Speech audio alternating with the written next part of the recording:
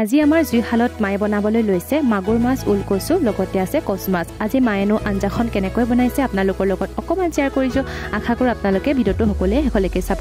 তেলখিনি গৰম হ'বলৈ দিলে আৰু সেই গৰম হোৱাৰ পাছত সেই তেলতে নিমখ হালধি দি মাছকেইডোখৰ ফ্ৰাই কৰি লৈছে। নমস্কাৰ গাঁৱলীয়া ছোৱালীৰ ৰশ্মিৰ অন্য এটি ভিডিঅ'লৈ আপোনালোকক সকলোকে স্বাগতম জনাইছোঁ।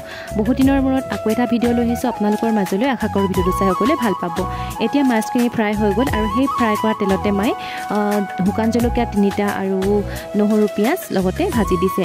আৰু সেই তেলতে মায়ে এতিয়া কচুখিনি দি ভালকৈ লৰাই দুই মিনিটমান ঢাকি দিছে। তাৰ পাছত বইল কৰি লোৱা দালিখিনি নহৰু আৰু তেজপাতে বইল কৰি লৈছিলে হ'লে দালিখিনি সেই দালিখিনি আকৌ সেই মাছখিনি কচুখিনিৰ লগত ধুনীয়াকৈ মিলাই লৈ দহ পোন্ধৰ মিনিটমান সিজিবলৈ দিছে। আৰু উতল অহাৰ পাছত মায়ে ঘৰৰে নেমু এটা ছিঙি আনি সেই কচুত ধুনীয়াকৈ চেপি দিছে। কাৰণ ওলকচু হয় ন অকণমান ডাকিবও পাৰে। সেইটো কাৰণে নেমু এটা চেপি দিছে উতল আহি থকাৰ সময়তে।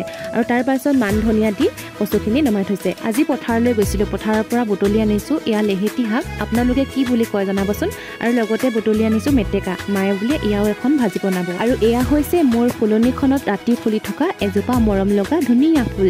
এই ফুলজোপাক আমাৰ এইফালে শিয়াল নেজিয়া আৰু মালা ফুল বুলি কয়। আপোনালোকৰ সেইফালে এই ফুলজোপাক কি নাম কয় জনাবচোন? দুমাহমান হৈ গ'ল। এই ফুলজোপা ফুলিয়ে আছে। ইমান ধুনীয়া লাগিছে চাওকচোন।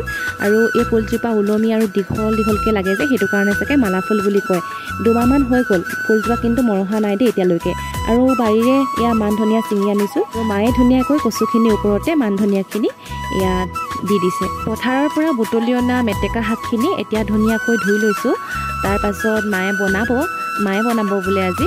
লেহেতি শাকখিনি আজি নবনায় ৰাতিপুৱা খাব। আৰু ধুনীয়াকৈ এতিয়া ধুই লৈছোঁ। তাৰপাছত মাক বনাবলৈ দিম। কচ মাছ আনিছিলোঁ যে সেই কচ মাছৰ চৰ্বি অকণমান আছিলে। মিঠাতেলতে মায়ে এতিয়া সেই কচ মাছৰ চৰ্বিডোখৰ দি দিছে। অকণমান গলাই লৈ তাতে নহৰু পিঁয়াজ হালধি নিমখ দি ভালকৈ লৰাই শাকখিনি এতিয়া মানে মেটেকাখিনি তাতে দি দিছে। কচ মাছ নহ'লে বা কচ মাছৰ চৰ্বিৰ লগত যদি এনেকৈ ভাজিকণ বনোৱা হয় তেতিয়া কিন্তু বহুত ভাল লাগে খাই বহুত টেষ্টি হয়।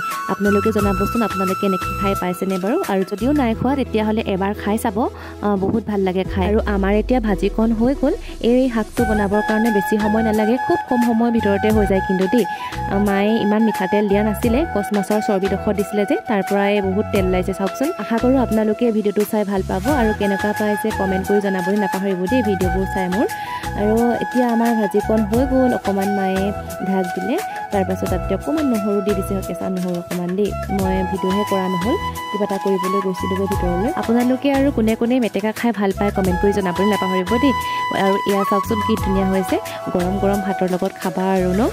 মই কিন্তু খাবলৈ ৰখিহে আছোঁ কেতিয়া হয় কেতিয়া হয়কৈ